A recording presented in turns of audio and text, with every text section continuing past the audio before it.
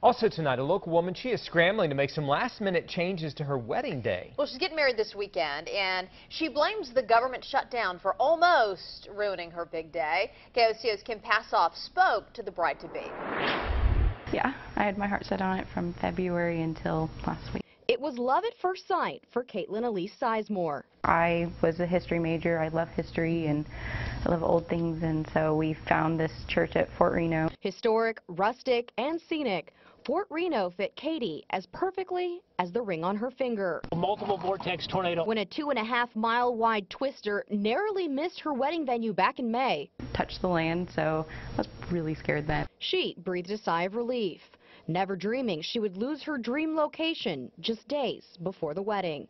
We didn't even think about it. The government shut down, closed down the federally owned site. We called up and they just said, sorry, it's not going to happen. The bride-to-be left heartbroken. It was a lot of crying. Why me? Why is this happening? You, you have no power over the situation, so you feel kind of helpless. The father of the bride, an FAA employee, is on furlough because of the government shutdown. His paycheck placed on hold.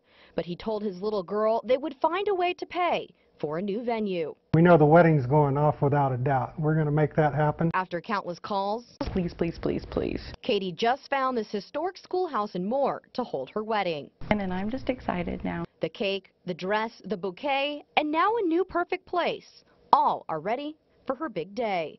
Kim Passoff, KOCO, 5 News.